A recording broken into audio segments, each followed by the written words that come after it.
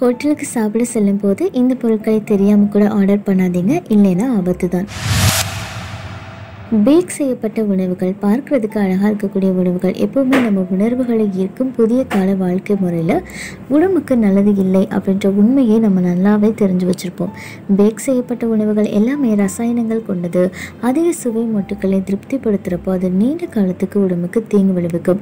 இன்றைக்கி சுச்சுவேஷனில் வாரத்துக்கு ஒரு தடவையாவது ஹோட்டலில் சாப்பிடக்கூடிய வழக்கம் பெரும்பாலான மக்களுக்கு இருக்குது இந்த சுச்சுவேஷனில் வெளியே போகிறப்போ நம்ம விரும்பி சாப்பிடக்கூடிய சில உணவுகள் நம்ம ஆரோக்கியத்தை கடுமையாக பாதிக்கும். நம்ம தவிர்க்க வேண்டிய உணவுகள் என்னென்னு பார்க்கலாம். ஃப்ரெஞ்ச் ஃப்ரைஸ் எல்லா ஹோட்டலுமே இந்த கொடிய சிற்றுண்டியை விற்பனை பண்ணுறாங்க டிரான்ஸ் கொழுப்பு மற்றும் கேலரிஸ் அதிகமாக இருக்குது நிபுணர் கூற்றுப்படி இந்த சிற்றுண்டிய சுவை ஒருத்தவங்களை அடிமையாக்கும். நீங்கள் கொஞ்சமாக சாப்பிட்டு திருப்தி அடைய மாட்டீங்க. அதிகப்படியான டிரான்ஸ் கொழுப்பு கடுமையான இதய பிரச்சனையை ஏற்படுத்தும். சர்க்கரை உள்ள தானியங்கள். இதில் நார்சத்து குறைவாக சர்க்கரை அதிகமாக இருக்கிறதுனால நோயை வரவழைத்து உடம்பை பருமனாக்கும்.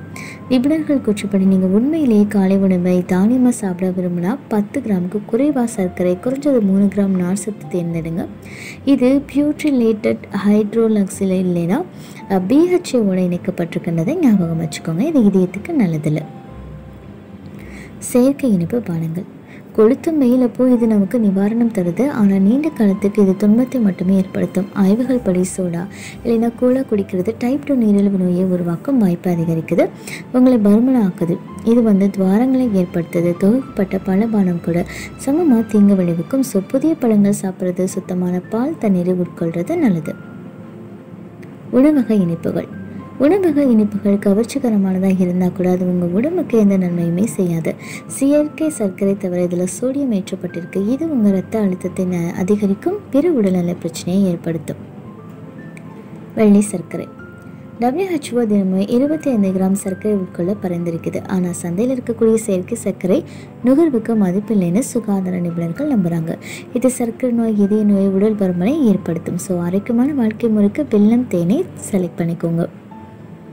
காஃபி க்ரீமர் இது ஒரு க்ரீமர்னு பேர் சொல்லப்படுது ஆனால் உண்மையிலே க்ரீம் இல்லை. முக்கியமாக சர்க்கரை தண்ணீர் சோயாபீன் இல்லைன்னா கெனலோ எண்ணெய் சே- வச்சு தயாரிக்கிறாங்க. இது வந்து ட்ரை கிளிசைடு மாதிரி சேர்க்கையும் சேர்த்துடுறாங்க pancake syrup pancake நல்லது ஆனால் சிரப் அல்ல. ஏன் அப்படின்னு யோசிக்கிறீங்களா? ஃப்ரெக்டோஸ் கார்ன் சிரப் மற்றும் கார்சினோஜென் அஸ்தோட ஏற்றப்பட்டிருக்கிறதுனால இது உடம்புடைய உட் மட்டுமே விளைவிக்குது. எங்களுடைய நிகழ்ச்சிகள் உங்களுக்கு பிடித்திருந்தால் உடனுக்குடன் கண்டு மகிழ. எமது சேனலை சப்ஸ்கிரைப் செய்து அருகே வரக்கூடிய பெல் பட்டனை அழுத்தவும். எங்களுடைய நிகழ்ச்சிகள் உங்களுக்கு மிகவும் பிடித்திருந்தால் உங்களுடைய நண்பர்களுக்கும் ஷேர் செய்யவும். நன்றி வணக்கம்.